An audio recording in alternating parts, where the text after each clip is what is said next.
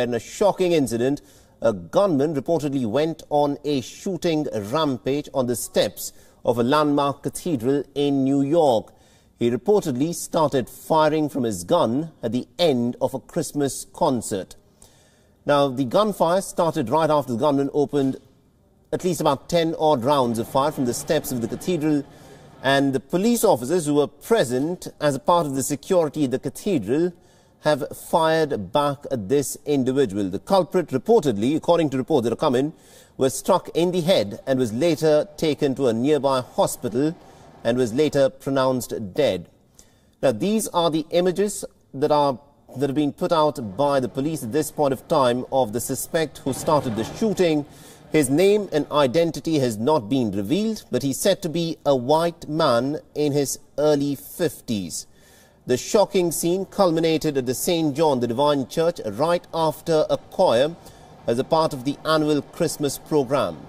The New York police have said that the suspect entered the scene and then began shooting indiscriminately in the air. Now, the officers later have recovered at least two semi-automatic guns, a can of smoke, knives, ropes and also a Bible from the bag that this man was said to be carrying. Now, the police officers say that they have gathered the name of the culprit and have also identified him as a person with lethal criminal history. But although it's more than a couple of hours since the incident, they have still not released the name of this individual. Now, the spokesperson of the Cathedral of St. John the Divine has confirmed that although the gunman had fired on the police, none of the attendees were harmed in this act of gruesome violence. Cathedral of St. John Divine today was hosting an event. It's an annual event that they host. Thankfully, this year with COVID, there was a much smaller event than normal.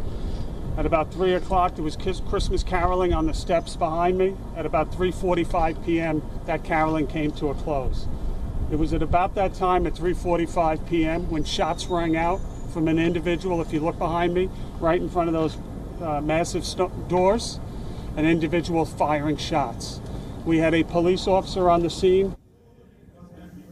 And a group of about 200 odd people had gathered on the stairs of the cathedral where the shocking incident of shooting took place.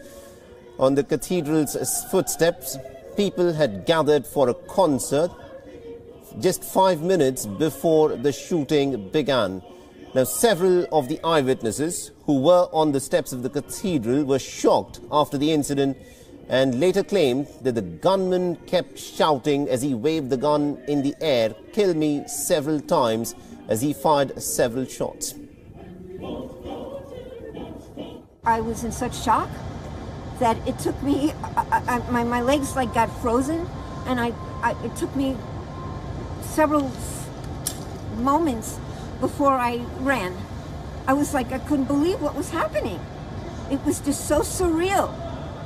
It, it, I couldn't believe it. And then when the realization came into my head that this was a real shooting that was going on, then I ran like crazy.